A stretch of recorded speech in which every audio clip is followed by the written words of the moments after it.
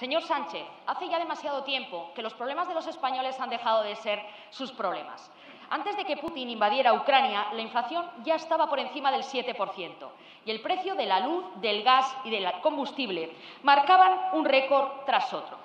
Hoy los autónomos pagan más cuotas y usted lo que les plantea es reducirles las prestaciones. Las familias ven como la cesta de la compra está más vacía y es más cara. A los agricultores les cuesta más producir y obtienen menos por sus productos. Vista la falta de soluciones por su Gobierno, ¿cuáles son las perspectivas para salvar esta situación tan crítica? Si vemos la evolución del precio del gas y, por tanto, de la energía durante este último año, podemos constatar que Putin llevaba más de unos meses preparando la guerra en, Ucrania. Esto es así, señorías. Yo sé que para ustedes todo es culpa de Sánchez, pero es así, señorías. En todo caso, es evidente, es señorías, que esta, que esta guerra va a tener que sacar lo mejor de nosotros mismos. Y también se lo pido al grupo, al grupo Parlamentario Popular. Saquemos lo mejor de nosotros mismos. ¿España dónde está, señorías? Está, en primer lugar, construyendo esa unidad necesaria en Europa, en la OTAN y también en Naciones Unidas, con esa votación en la Asamblea General de Naciones Unidas que demostró que Putin está solo y que la comunidad internacional está más unida que nunca con Ucrania.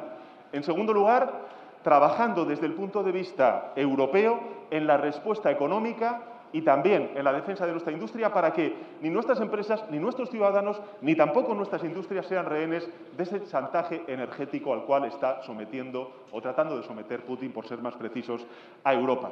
Y finalmente, como tuve ocasión la semana pasada ante sus señorías, esbocé lo que representa un plan nacional de respuesta contra las consecuencias económicas de la guerra, que dije además dos características importantes. Primero, que iba a ser un plan abierto, estoy esperando sus propuestas, señoría, y también un plan dinámico, porque queremos saber exactamente cuál es la dimensión y el impacto que va a tener esta guerra en, eh, lógicamente, la economía española y la economía europea. En todo caso, creo que es importante decir la verdad a los ciudadanos, señorías, no tratar de confundir a los ciudadanos, la inflación, los precios de la energía son única responsabilidad de Putin y de su guerra ilegal en Ucrania. Sí, señorías, es verdad, es la verdad, señorías. Y finalmente, y finalmente. Silencio, por favor. Y finalmente, señorías, apelar a la unidad de todos los grupos parlamentarios en la respuesta que tenemos que dar como España precisamente a esta guerra ilegal, injusta e injustificada.